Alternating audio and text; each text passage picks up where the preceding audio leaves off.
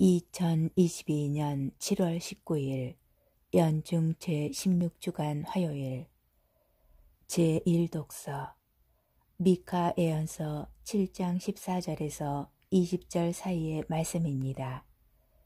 주님, 과수원 한가운데 숲속에 홀로 살아가는 당신 백성을 당신 소유의 양떼를 당신의 지팡이로 보살펴 주십시오.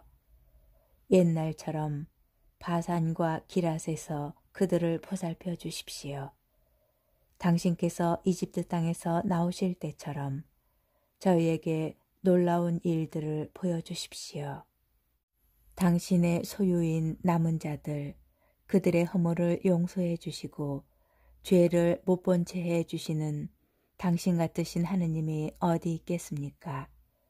그분은 분노를 영원히 품지 않으시고 오히려 기꺼이 자애를 베푸시는 분이시다.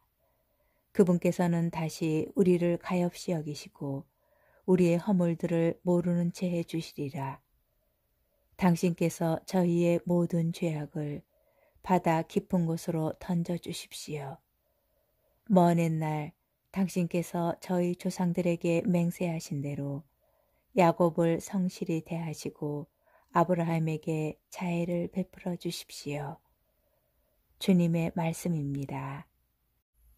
복음 마테오 복음 12장 46절에서 50절의 말씀입니다. 그때 예수님께서 군중에게 말씀하고 계시는데 그분의 어머니와 형제들이 그분과 이야기하려고 밖에 서 있었다. 그래서 어떤 이가 예수님께 보십시오. 스승님의 어머님과 형제들이 스승님과 이야기하려고 밖에 서 계십니다. 하고 말하였다. 그러자 예수님께서 당신께 말한 사람에게 누가 내 어머니고 누가 내 형제들이냐 하고 반문하셨다.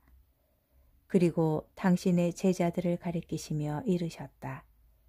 이들이 내 어머니고 내 형제들이다. 하늘에 계신 내 아버지의 뜻을 실행하는 사람이 내 형제요, 누이요, 어머니다. 주님의 말씀입니다. 오늘의 묵상. 오늘 복음은 어머니와 형제라는 단어가 여러 차례 반복되어 나오는데도 매우 차갑게 느껴집니다. 당신께 다가오는 사람들에게 다정하고 사랑스럽게 대하셨던 분께서 가족들에게는 참으로 냉정히 대하십니다. 가족 관계를 부정하는 것을 우리에게 보여주시려는 의도였을까요? 예수님의 오늘 말씀을 제대로 이해하지 못하고 신앙을 핑계로 가족을 뒷전으로 미루는 태도를 합리화하는 것에 주의해야 합니다. 예수님께서는 오히려 새로운 가족을 초대하십니다. 따라서 누가 내 어머니고 누가 내 형제들이냐 라는 예수님의 반문은 누구든지 예수님의 어머니와 형제들이 될 수 있다는 말씀으로 이해해야 합니다. 제자들을 첫 번째 가족으로 선언하신 예수님께서는 그들을 하늘에 계신 내 아버지의 뜻을 실행하는 사람이라고 부르십니다. 예수님의 말씀에 따르면 예수님께서 초대하시는 새로운 가족은 혈연과 혼인이 아닌 아버지의 뜻으로 모인 이들입니다.